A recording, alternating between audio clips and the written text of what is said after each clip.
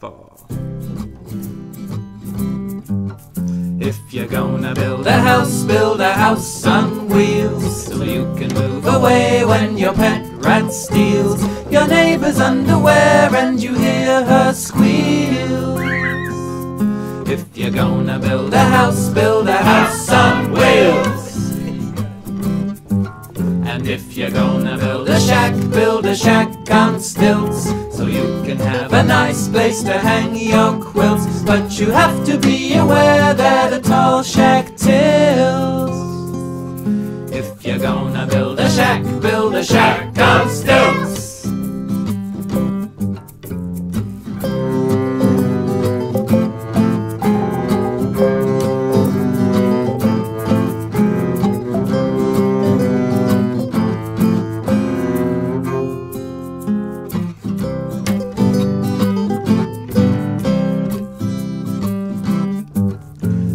if you can get your hands on a giant's shirt, I highly recommend that you build a yurt.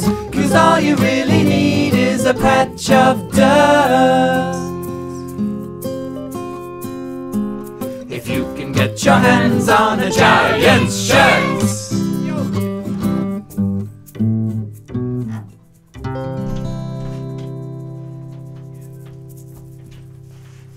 Okay.